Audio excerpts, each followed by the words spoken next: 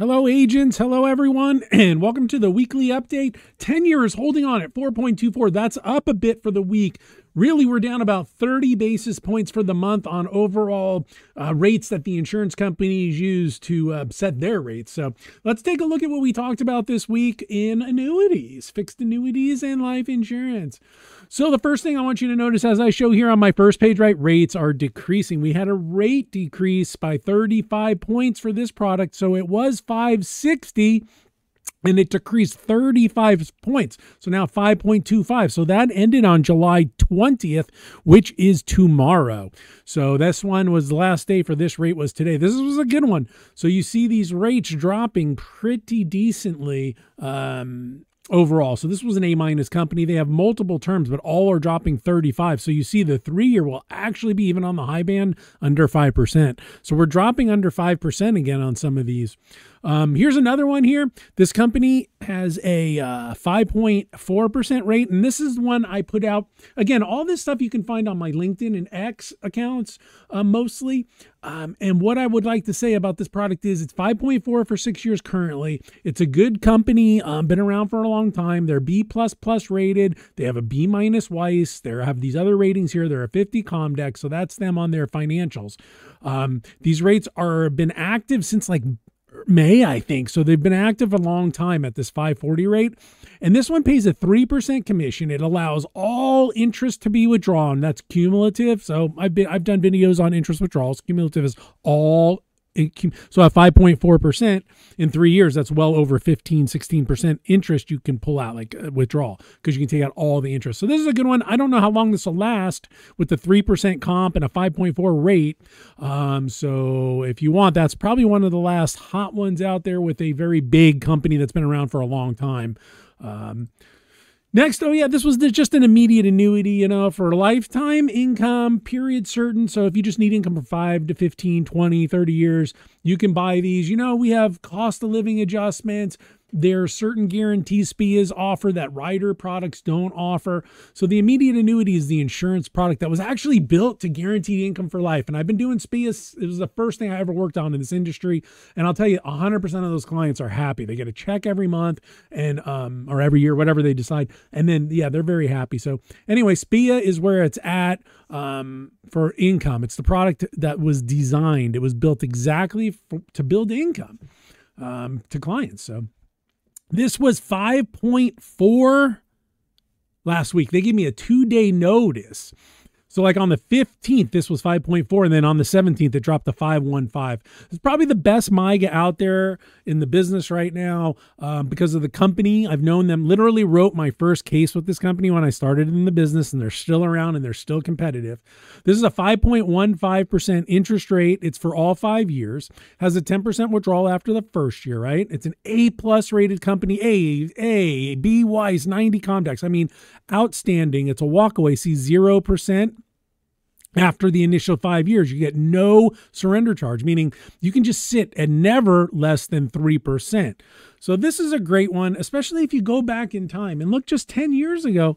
People were sitting at 1% liquid or 2% liquid, 3% liquid because it was the best rates available. So, as we know, we just saw a Republican National Convention where the nominee said they're going to lower interest rates if they get in. So, FYI, 3% minimum guarantee is the strongest guarantee in the contract, and any MYGA or immediate, or I'm, sorry, any MYGA or deferred annuity you buy currently should have a high minimum guarantee. Anywhere from 275 to 3, I would say. Those are your strongest guarantees and will protect you in the future, agents. It'll protect your clients in the future if they you know, from um, low interest rate environment. You have at least three guaranteed on that product. So anyway, yeah, this one also, this company's offering like a cool agent program for this next quarter where you can make an additional comp on top of this comp. They want to bring in business um, to all their product lines. It's not like they're offering it for one product line. It's across the board. So there's no like, um, no bias there. Um, next was an article I saw. This was um, from Yahoo Finance, and basically it's saying like women are worried um, more than men Um, only 59% of women surveyed reported they feel on track for retirement versus 75% of men. So, in the title of this is um, Women Worry More Than Men About Outliving Their Retirement Savings. It's a, it was written by this Kerry Hannon, um, senior columnist over there at Yahoo Finance. So, if you guys want to check it out, I thought this was a good um, article. Also, it's something that people have been talking about in this industry the entire time is how you know, women live longer, they have longer longevity, but they're not showing these SPIAs or these other options or these fixed, and um, or they pay attention to these fixed options. But once the women see these guaranteed options, they are more apt to buy them than their male counterparts. Go figure. I don't understand that um, reasoning, right? If they have better reasoning in that way, maybe, or they want more protection that way. Not sure, but that is historically what I've seen. Um, females do worry more about outliving their money. I guess maybe one of their sources of income dry up. But, you know, a woman who has a guaranteed income is going to be a lot more confident than one that doesn't. I mean, man, too. It doesn't matter. Anyone who has a guaranteed income is going to be more confident than someone who doesn't. Let's talk about indexed annuities, right? Again, I've done videos on my favorite crediting methods.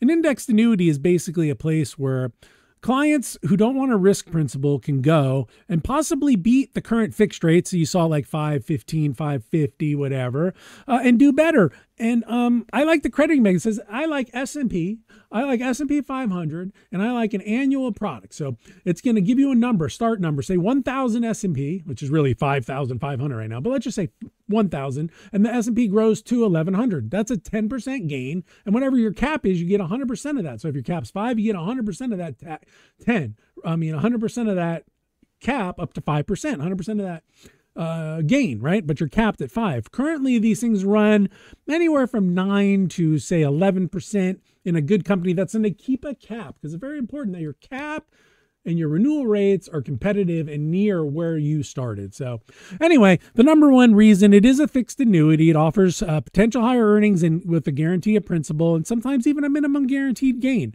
Um, there's multiple crediting methods, not just the annual reset. You know, you can go into a NASDAQ, there's a lot there. Um, I again like the annual reset, annual lock-in in any of the buckets, but really the S&P 500 has been historically the one we use. But Dow, Nasdaq, I guess you can use those too. Those those are the type of indices that'll be around. You know, they come out with these proprietary ones, and they could disappear in the future uh, and get more volatile. Historically speaking, uh, lifetime income riders, yeah, you know, if you were going to defer your income, if you're a client, if you have a client who says, "Hey, I absolutely want income in seven to ten years, absolutely want to know what it's going to be," An, an, income rider, whether on a deferred or an index annuity, is a good option because they know where they're going to be in that period of time and they can always shop the market when they're ready to pull the income trigger with the SPIA to see if they can do better. So, yeah, it's, it's a good thing uh, for people who want to delay. If you're doing it right away, in the first year and you're not being showed a SPIA, you're not showing the client a SPIA as well, got to show them a SPIA. Otherwise, that's not really doing a good job. You know, the SPIA for anything starting in the first 12 months uh, should be compared to anything starting in the first three years with a rider. Um, yeah, that's just mathematical equations. They work themselves out really well, uh, and which one will be do better. So next is a range of choices. Yeah, you got you know anywhere from three to twelve years right now, and of course you can get A plus quality, A plus plus quality on fixed indexed annuity. So yeah, FIAs. I don't talk about them a lot because the broker dealers and everything, and these new uh, bonuses and all that have really corrupted the market. So I kind of keep that to uh, a little closer to house. Uh, Equitrust is an insurance company um, that's been around a long time. They were raised to an A minus from B plus plus from Standard and Poor's. So anytime you have an upgrade, that's good. So you guys can find that on the S&P Global website there. Um, yeah, so that's the end of my presentation for the week. Uh, that's what happened this week. You guys want most up to date information? Follow me on X and um, LinkedIn, and you can get these as I drip feed them out and all that good stuff. So, hey, thanks for watching. We're getting long here. Uh, any questions, 800 373 969. Leave me any messages, comments below.